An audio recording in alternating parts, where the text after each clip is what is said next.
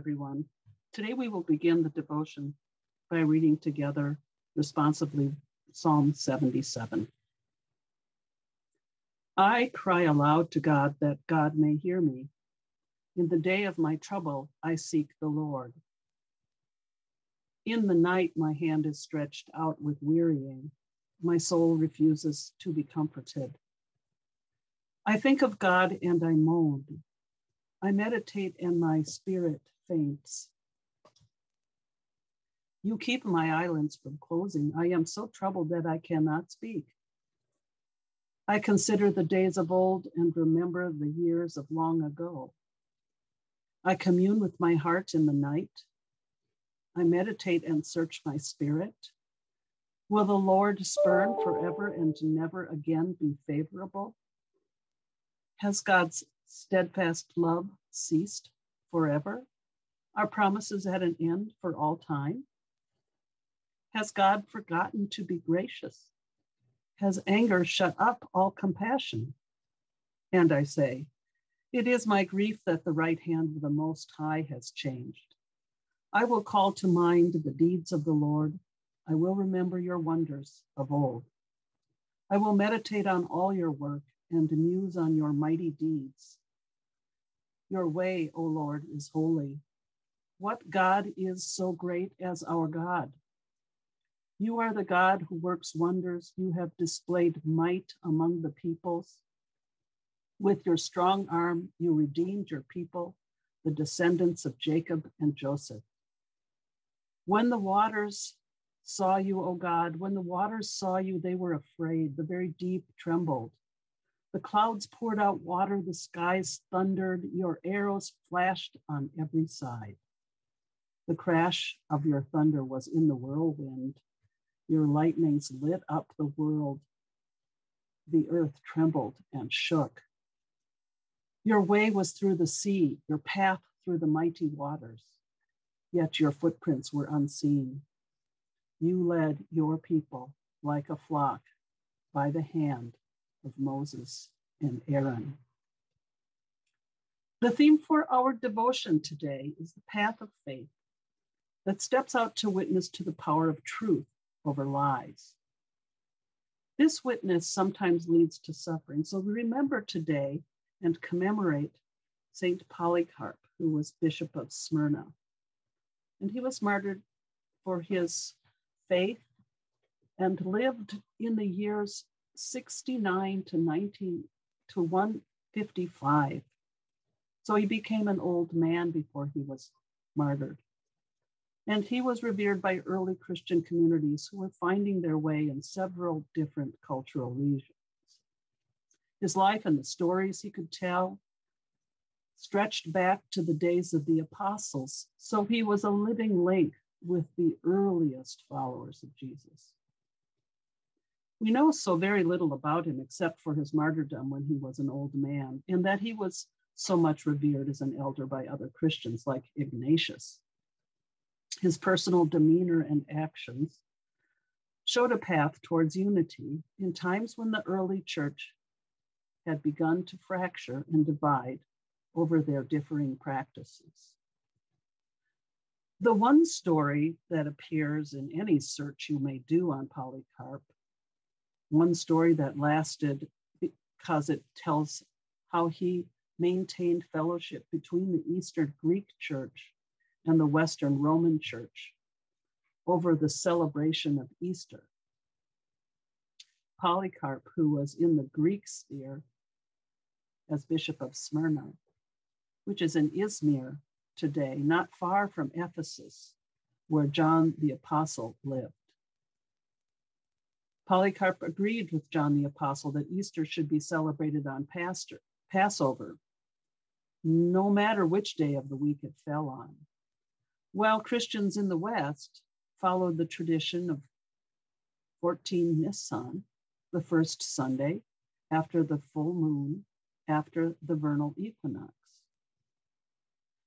But Polycarp, in a famous meeting with Anicetus in Rome, after discussing the region for their differing practices, did not break fellowship over these different ideas about Easter, and communed together. Sometimes we can have differences with other Christians, but we do not break fellowship over that. And that is the lesson from Polycarp. Our scripture text today is from 1 Peter chapter 3, verses 8 through 18. The letter writer says, Finally, all of you have unity of spirit, sympathy, love for one another, a tender heart, and a humble mind. Do not repay evil for evil or abuse for abuse, but on the contrary, repay with a blessing. It is for this that you were called, that you might inherit a blessing for those who desire life and desire to see good days. Let them keep their tongues from evil and their lips from speaking deceit. Let them turn away from evil and do good. Let them seek peace and pursue it. For the eyes of the Lord are on the righteous, and his ears are open to their prayer. But the face of the Lord is against those who do evil. Now, who will harm you if you are eager to do what is good? But even if you do suffer for doing what is right, you are blessed. Do not fear what they fear, and do not be intimidated, but in your hearts sanctify Christ as Lord. Always be ready to make your defense to anyone who demands from you an accounting for the hope that is in you. Yet do it with gentleness and reverence and keep your conscience clear, so that when you are maligned, those who abuse you for your good conduct in Christ may be put to shame. For it is better to suffer for doing good, if suffering should be God's will, than to suffer for doing evil. For Christ also suffered for sins once for all, the righteous for the unrighteous, in order to bring you to God. He was put to death in the flesh, but made alive in the spirit. Here ends this reading. This letter is dated between the years 60 and 90 by the scholars who examined how Rome was portrayed and pinpointed these years because of the way that persecutions were described. Christians even today know that they might be persecuted in little ways by feeling the contempt of others, or in some places, even overt violence. Christian discipleship has always come with a risk either to social standing or even physical um, life. Given that reality, the writer says that the unity of spirit should prevail among Christians, that we should show sympathy and love for each other, have tender minds and a humble mind. There is very good advice for the kind of polarization we live with today. To share in the difficulties that persons of faith have experienced, we enter ourselves into personal fasting and repentance during the Lenten days. And through focusing on what we need to shed from our lives and what we need to gain from contemplation of the suffering of others, we can join now our personal journeys with the community of Christians who are emptying themselves for others. That communion of a pilgrimage of the Spirit can lead us out of personal isolation into a stronger witness. When we think about others, we are not alone. And whatever path you take, if you follow Christ, you will have company. First Peter's letter quotes from one of the Psalms, number 34, to give a warning against evil speech.